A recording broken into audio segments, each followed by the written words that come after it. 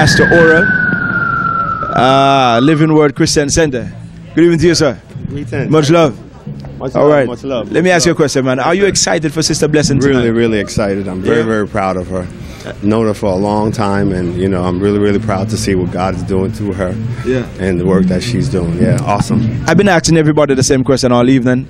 Uh, it, m- I, I might sound like a broken record, or it might seem a little bit monotonous. Well, I haven't heard it yet, so I guess. All right. Well, let me ask you the question. What do you think about this song she did, "Mad Christian"?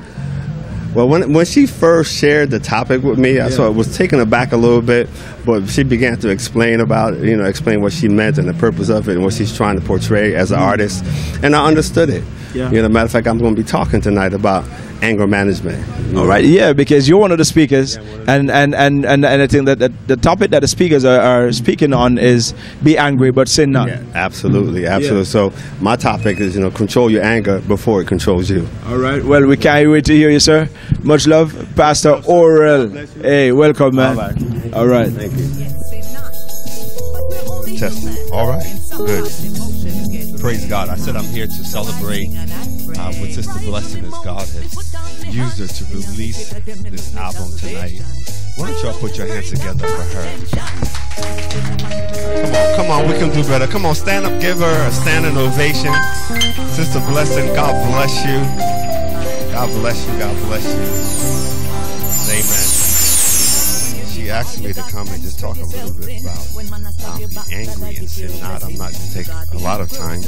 Um, um, she gave me about 10 minutes. I'm just going to take about nine and a half minutes to get this done. I, I think I over prepared. I have enough for an hour, but we don't have all that time.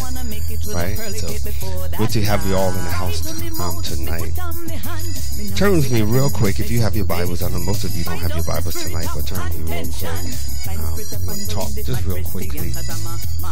How many know the Word of God is good news? Come on, everybody here knows good news. Jesus says, The Spirit of the Lord is up on me because He is anointing me to bring good news to the poor. Can anybody, can anybody tell me what's good news to the poor? Good news to the poor is that you don't have to be poor anymore. Y'all in agreement with that? What is good news to the blind? You don't have to be blind anymore. What is good news to the lame? That you don't have to be lame anymore. Good news to the bound is that you don't have to be bound anymore. And so scripture always brings good news. The gospel is always good. I'm, I'm cool with this. The gospel is always good news. All right, so we're going to talk a little about anger tonight and, be angry and sin not. Amen. Go to the book of Genesis chapter 4 and verse 3 because that is the first instance where we see the emotion of anger. The emotion of anger. Look at it. Genesis 4 3. When it was time for the harvest, Cain presented some of his crops as a gift to the Lord. Abel also brought a gift, the best of the firstborn lambs from his flock. The Lord accepted Abel and his gift, but he did not accept Cain and his gift. This made Cain very angry. I'm reading from the New Living Translation. This made Cain very angry, and he looked dejected. God asked him, Why are you so angry? Why do you look so dejected? Verse 7 says, You will be accepted if you do what is right. Touch your neighbor, say, neighbor, you will be accepted if you do what is right. Watch this now. Look what the word said. But if you refuse, somebody say refuse, to do what is right, then watch out. I want you to look at that. That's very significant. If you refuse to do what is right, watch out. All right? Because sin is crouching at the door. Are y'all even hearing me tonight? If you refuse to do right, watch out because sin is standing or crouching at the door, eager to control you. But you must subdue it and be its master. Touch your neighbor, say, neighbor, master your anger or it will master you.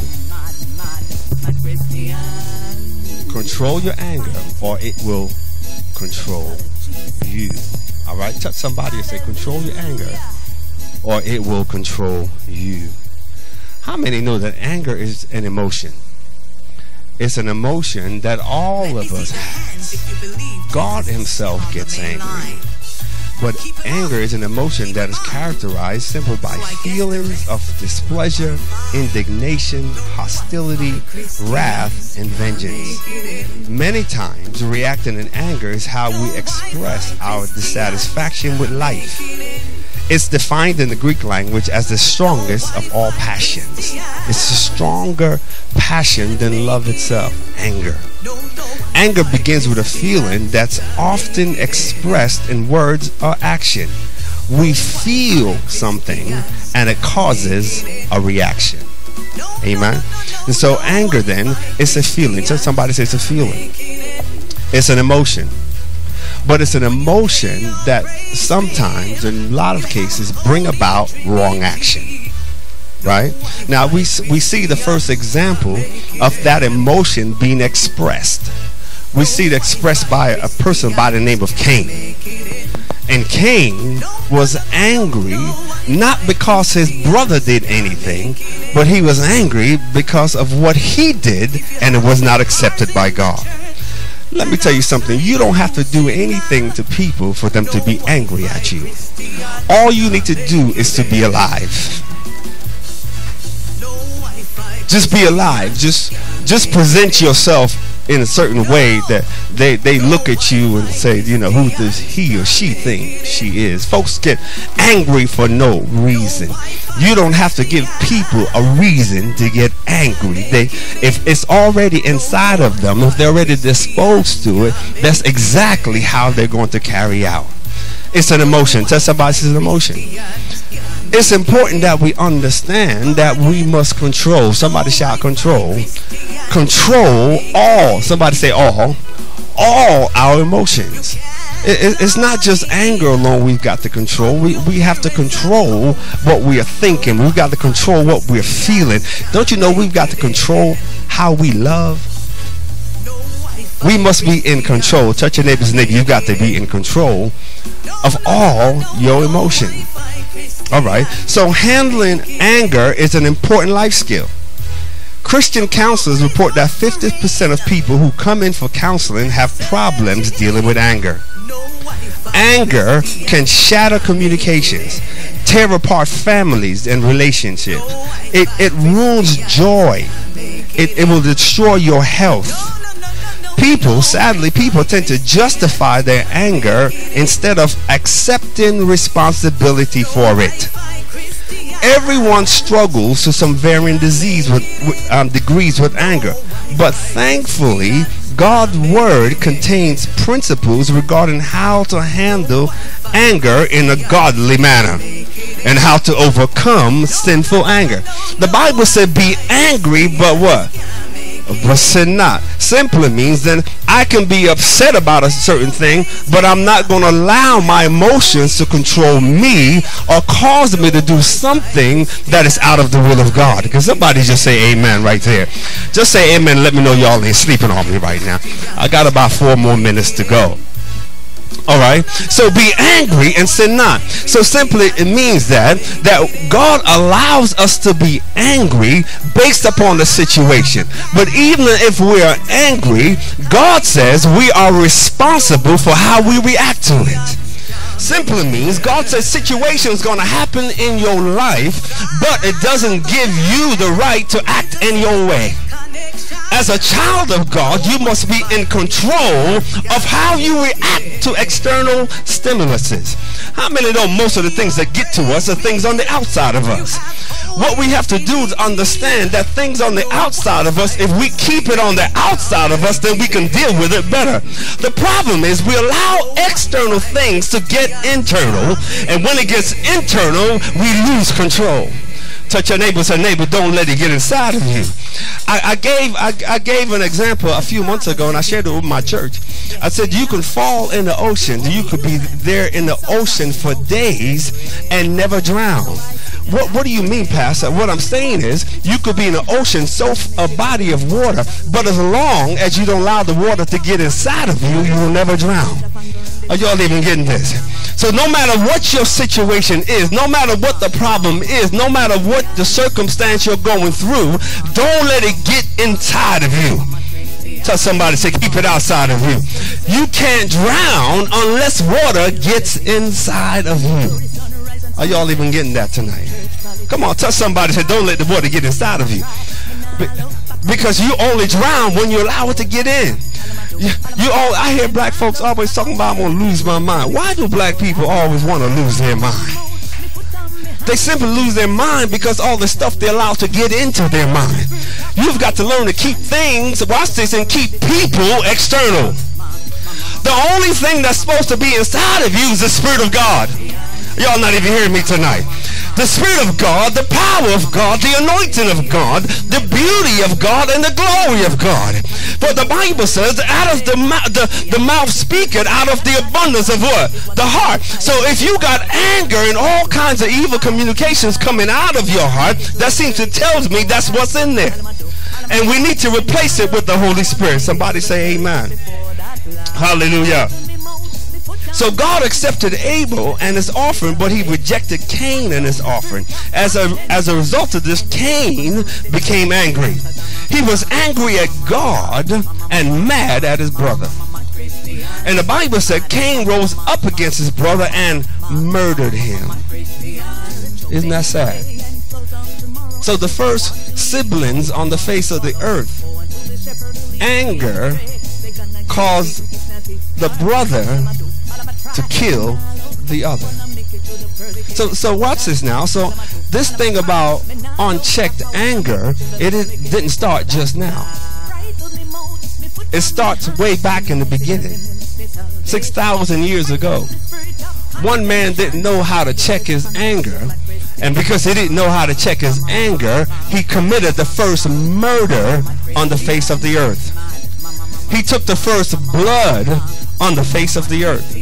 Listen, you better check your anger because your anger will have you doing things that nobody would have expected you to ever do. Am I right? Is anybody here done something out of anger and wish they had to stop for a minute and count to 10? Sometimes you may have to count to 100. Because you must refuse, watch this now, refuse to take action when you're angry.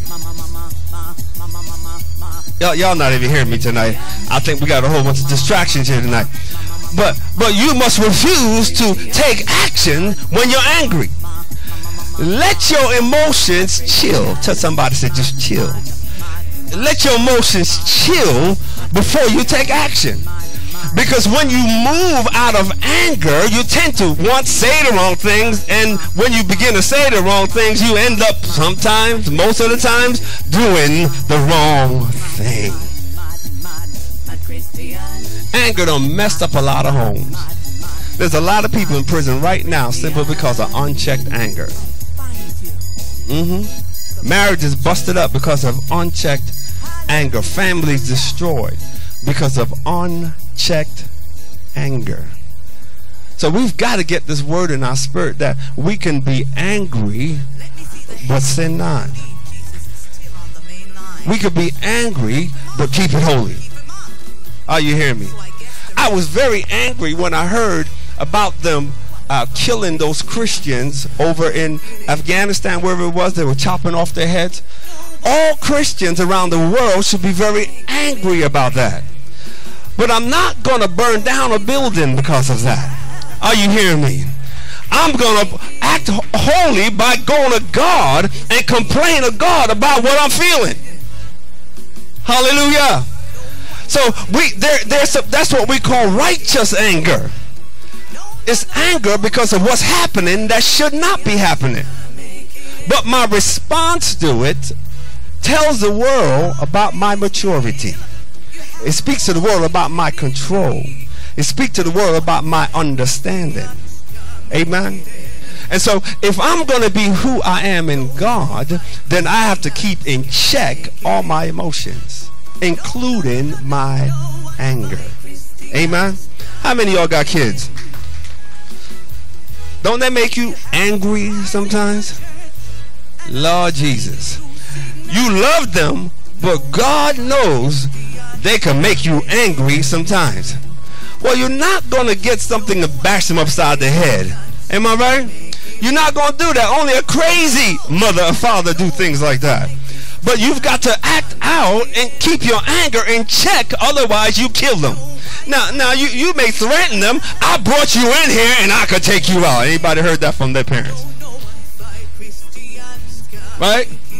But but we're just saying that just to scare them. But the truth is we are angry, but we have checked our anger. Why? Because we allow love to control how we react. How many know love is the greatest need? Hallelujah.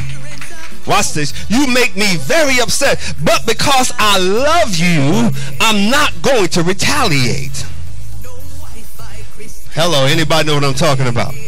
And, and, and watch this now. Is my 10 minutes up? Thank you, baby. Uh, my 10 minutes up. I, I, I gotta go. Uh, they they taking they keeping my clock. All right, let me just finish up with this in 30 seconds. All right, Prophet Zach, take five of his. How much you have? he got six. All right, so so watch this now. So love now governs my response. Are you hearing me? Touch your neighbor, say neighbor, let love govern your response. The greatest, everything else will cease, but love never should cease. Are you hearing me? Prophecy one day gonna cease. Anybody know that?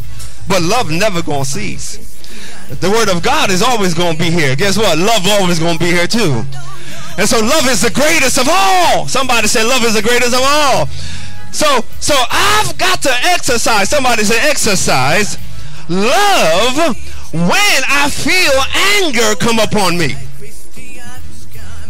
We, we've got to we, we've got to find love. Tell somebody you've got to find love. Watch this now. Watch this now. And and I'm gonna end up I'm gonna end with this.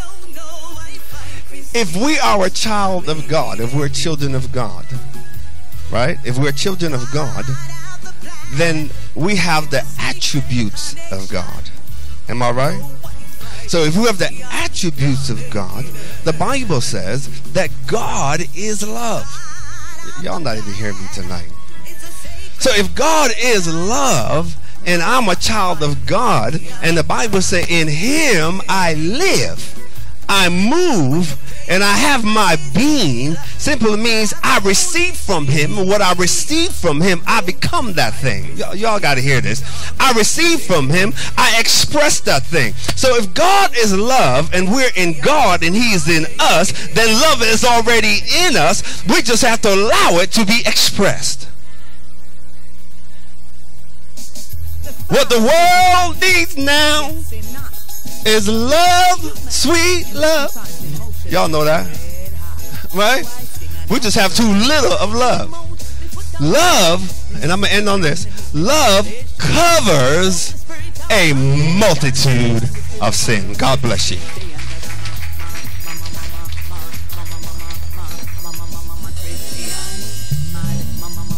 Come on, give bishop a round of applause. Yeah. When you give all you got and spread yourself thin, when man stab your back, that'll give you a blessing. To God be the glory, sunrise and sunset. I see him church politics, cause Jesus said, I'll try, but now.